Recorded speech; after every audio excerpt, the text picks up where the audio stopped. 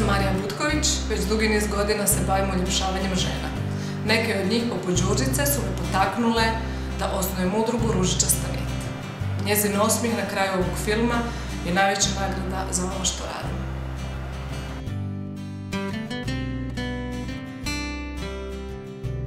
E, Moje ime je Đurđica, imam 34 godine, imam supruga, dvoje djece i prije nekih 17 godina mi je dijagnosticirana alopecija universalis.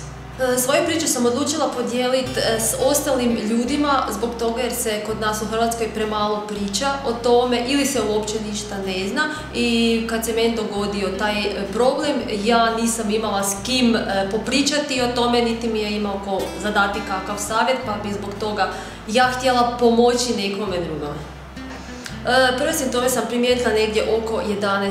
godine kad je kosa počela otpadati u manjim krugovima, ali s vremenom bi ta kosa narasla, ali su se na drugim mjestima pojavljivali e, krugovi i to je tako trajalo nekih 6-7 godina.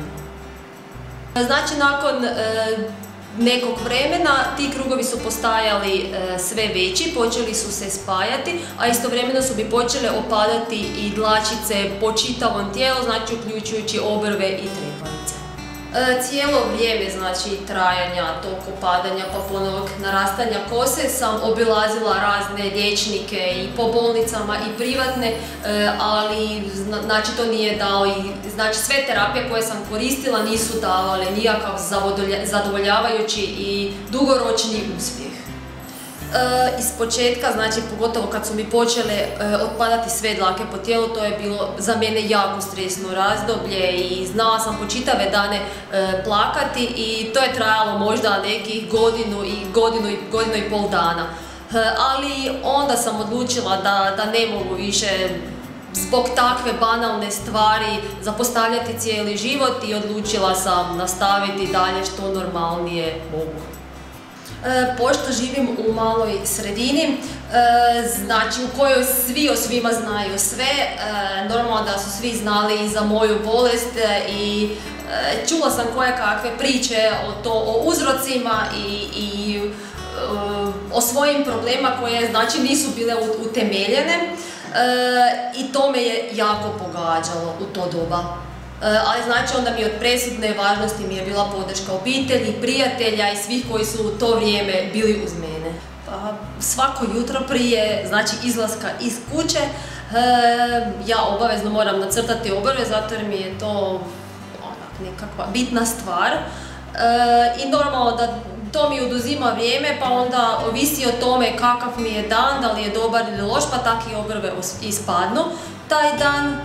Pa vjerujem da će mi ovaj tretman e, u tome puno pomoći. Evo ga! Wow. Ne vjerovati. Izgledaju, izgledaju kao prave. Izgledaju točno kao prave. Divno. Eto ga! Odlično. Ja sam oduševljena s novim obrvama jer stvarno izgledaju prirodno i drago mi je što sam sudionik ovog svega i nadam se da će moja obitelj isto tako biti oduševljena koliko sam i ja. Podrška obitelji mi znači jako puno, pogotovo prije kad sam bila još ono, više u stanju depresije, ali eto, živimo normalno koliko možemo. E, Iako savršena kosa i savršene obrve nisu najbitnije na svijetu, nego prava ljepota dolazi iznutra, ja sam jako zadovoljna s svojim novim obrvama.